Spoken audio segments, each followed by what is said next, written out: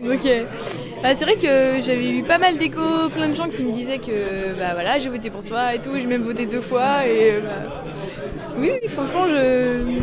très très heureuse, normal quoi, mais euh, un peu un peu gênée aussi parce que c'est un honneur euh, qui selon moi je mérite pas et que plein de gens vont mériter aussi quoi. Bon, Mais bah oui, enfin il y, a- il y a plein de gens qui voilà qui mériteraient aussi autant que moi. c'est-à-dire, alors si vous, vous deviez décerner un, trophée,